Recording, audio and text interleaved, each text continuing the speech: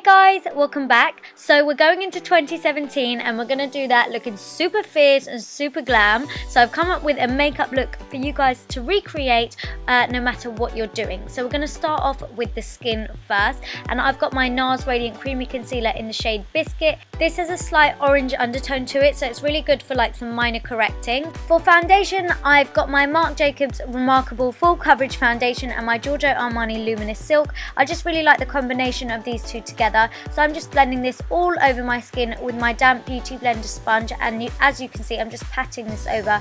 Okay, don't do it as harsh as me, but yeah, beat that face girl. Um, then for the eyes, I've got my MAC Paint Pot in the shade Soft Ochre. This is just going to act as a base for our eyeshadows and it's just going to cover up any discoloration that we may have on our eyelids. And then I'm going to set that all in place with my Laura Mercier Translucent Setting Powder. I'm taking this in the crease and above it. I'm not really taking it onto the lid too much just because we're going to be applying shimmery shades on the lid so we don't want to set that with a uh, powder. Moving on to eyeshadow, I've got one of Tarte's newest eyeshadow palettes and it's gorgeous. It's their Tarteist Pro Amazonian Clay palette and I'm just taking the shade Innocent this kind of reminds me of Creme Brulee by Makeup Geek, so it's the perfect transitional shade, which I'm just taking through the crease and above it, so it's one of those background shades that everything else is going to blend into. And then I'm taking this really nice pinky shade called Mod, and this is going through the crease and a bit above it, and as you can see, I'm just building it up and blending it till I get the intensity that I want. And again, this is going to be a transitional colour, but one that we want to see. Um, and as you can see, I'm just taking it a little bit higher, but making sure we have a really nice soft blend. So then we're just taking the shade Punk, which is a really nice dark teal colour. It's quite different. So I'm just taking this on the inner and outer corners of the eye, almost as if you're about to do like a halo eye effect. And then I'm just going to take it through the crease and join the two ends up. Um, but you just want to keep building this shade up. You want it to be quite dark and intense. This is an evening makeup after all.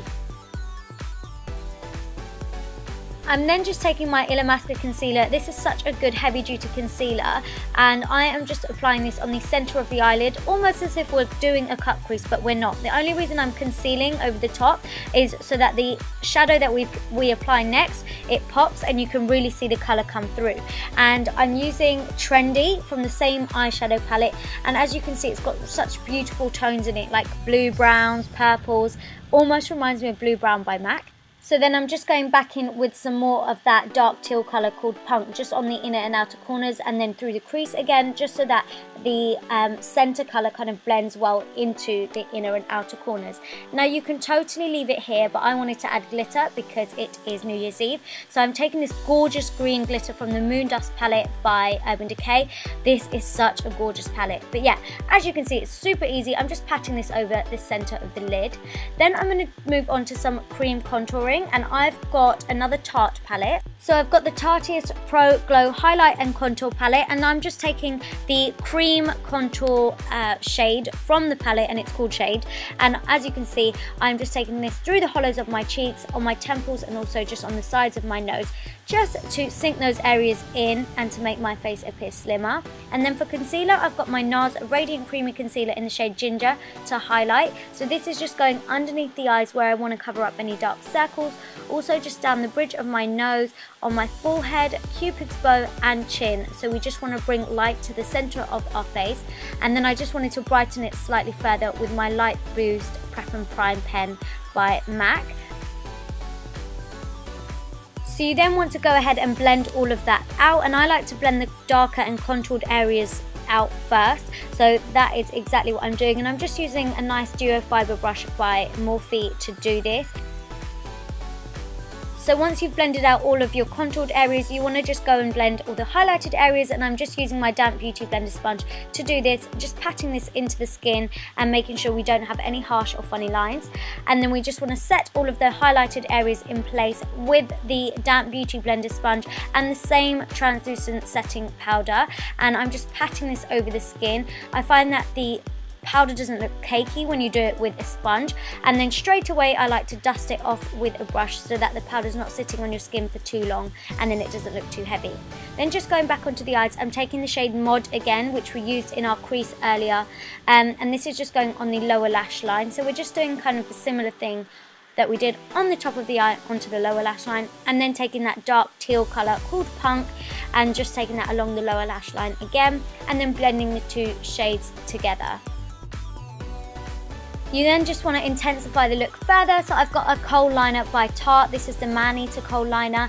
Um, so you can use any black pencil that you like. And this is just going on the inner waterline. You can take it on your upper waterline also and tight line. But yeah, this just adds a lot more drama to the look and kind of completes the eyes. And then for mascara, I've got my Tarteist mascara. I didn't actually mean to use this many Tarte products. Um, I ended up just grabbing them. But yeah, I really like this mascara um, to give you length and volume. I did apply some Violet Voss lashes off camera and I'll leave the names of them down below.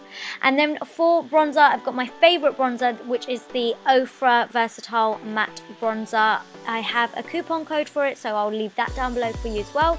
Um, but yeah this is just going through my cheeks and on my temples. So just anywhere where we've contoured, um, just to add a bit of warmth to it.